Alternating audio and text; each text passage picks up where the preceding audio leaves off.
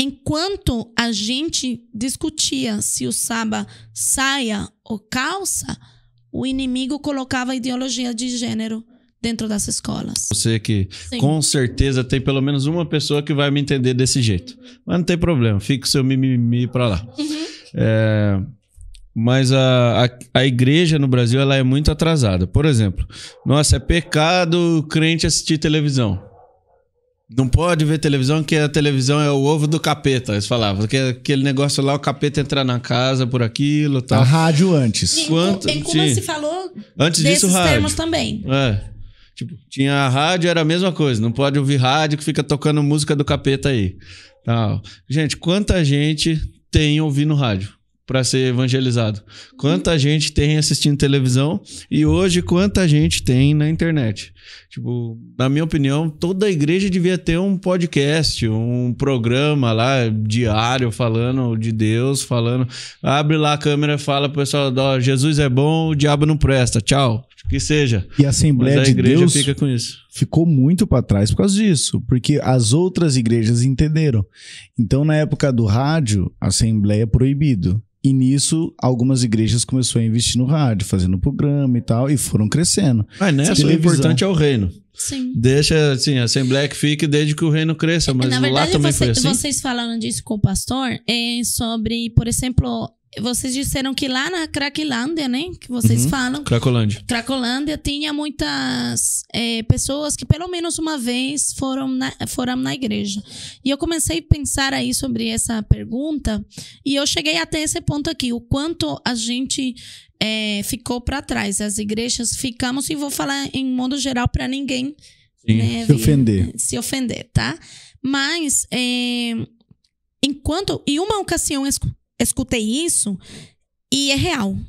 Enquanto a gente discutia se usava saia ou calça, o inimigo colocava ideologia de gênero dentro das escolas. É. Entendeu? Então, olha até onde ele teve capacidade de tirar o foco do que é necessário que a gente faça e que a gente esteja presente. A gente precisa entender que toda a tecnologia é também um meio da gente chegar até as pessoas. Porque hoje você vê é, uma pessoa na rua, a pessoa não vai. Talvez, por exemplo, eu tenho pessoas, para as pessoas que estão assistindo poderem me entender bem, eu tenho pessoas que me viram já na rua e nem me cumprimentaram, mas curtem os meus conteúdos de, de Instagram. Sim. Então a pessoa não chega a ter esse relacionamento com você, mas te segue. Então, qual mensagem que eu tô deixando, não importa que eu deixei quando passei do lado dela, se ela aqui está assistindo e aqui está aqui, eu vou continuar deixando minha mensagem aqui. Toda segunda-feira eu faço uma live, toda.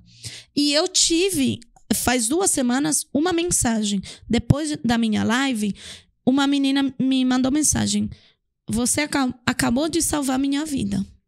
Porque isso daí, o que você falou hoje, era o que me mantinha longe da igreja e longe do Senhor. Meu Deus. Então, eu falei: não, eu vou continuar fazendo isso aqui.